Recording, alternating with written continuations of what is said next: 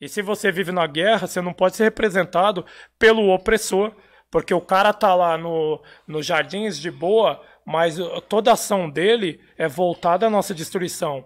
Ele prefere que a gente seja analfabeto, ele prefere que a gente tenha um salário de fome. Quando ele ganha bilhões no fim do ano, ele não fala, ah, mano, realmente pela justiça social, eu preferia que tivesse uma tributação na minha fortuna. Realmente eu queria é. dividir, né, mano, os meus ganhos, dividir os lucros. Ele não fala isso.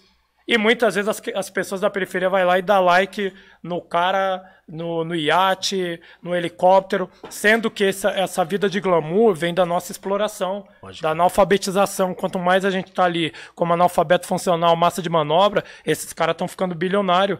Entendeu? É, é uma corrente ligada. Não, não, é, não, é, não acontece por acaso a fortuna do cara e a nossa miséria. Não, a nossa miséria provém da fortuna dele.